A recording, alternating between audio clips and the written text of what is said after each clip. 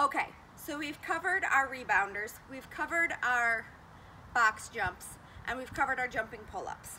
The final piece of it all is actually going over your technique on how to clear the wall.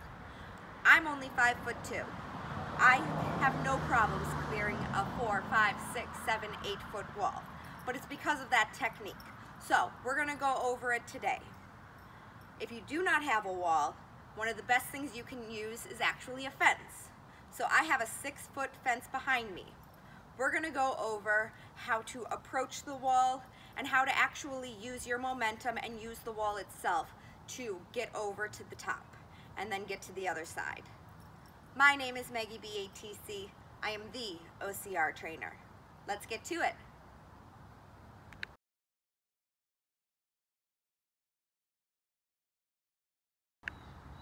Okay, so now when you're running up to a wall, the first thing you're going to want to do is maintain your speed. You do not want to slow down. You do not want to shorten up your steps. You're going to actually take a nice running start to that wall. As you approach it, you're going to use the wall as a springboard. Put one foot onto the wall and push off of it into the vertical fashion. And that's when you can get your arms up at the top. Use that jumping pull-up from last week to pull yourself up and swing a leg over.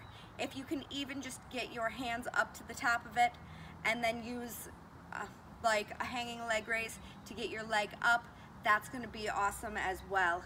You just wanna make sure that you are using the wall to provide you with the leverage that you need to get up and get your hands onto the top of it. So we're gonna go ahead and we're gonna show it to you here.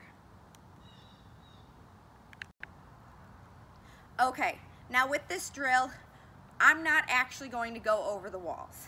Depending on what fence you can find, it may not be sturdy enough to actually hold you to get over, but you can still utilize it to help train you to get up to it.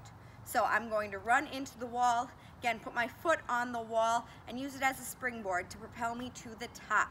I'm then gonna grab on at the top and pull myself over. So let's take a look.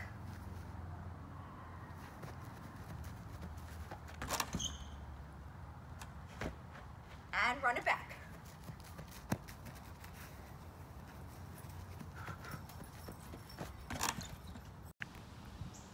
Okay, there you have it. Your running wall climb um, drills.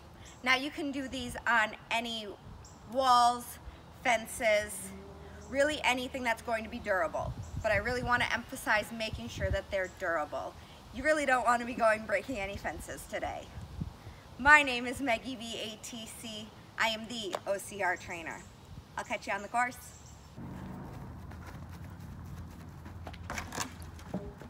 And then that happened.